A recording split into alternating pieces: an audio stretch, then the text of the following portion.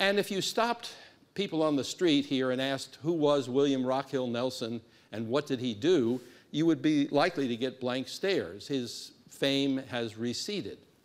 Yet, I think Nelson deserves better from history.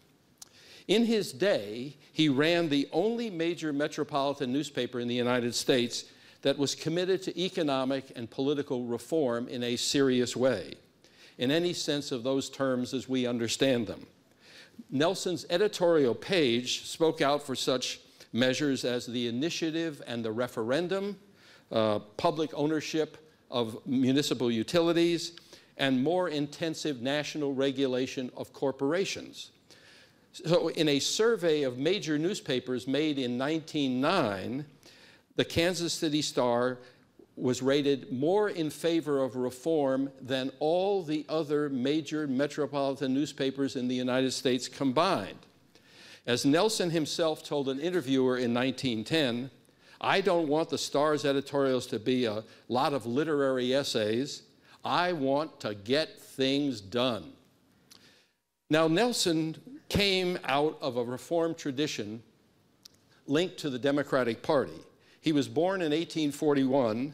He, he, launched the Star in 1880 at the age of 39. And by 1905, he had built the newspaper into one of the major regional voices uh, in the country, uh, dominating the, south, the Southwest and the Middle West against other newspapers. A large man who tipped the scales at 230 pounds, Twinkling Bill, as he was known by some newspaper reporters, was also known as Colonel Nelson. He had no military record whatever, but as the Kansas editor William Allen White put it, he looked coloneliferous.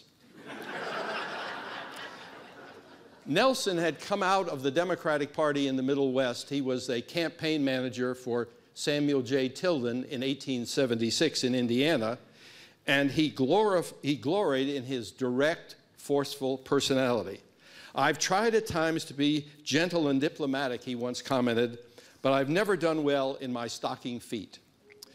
This similarity to the aggressive personal style of Theodore Roosevelt was one of the things that held the two men together when they began to cooperate in the early 20th century.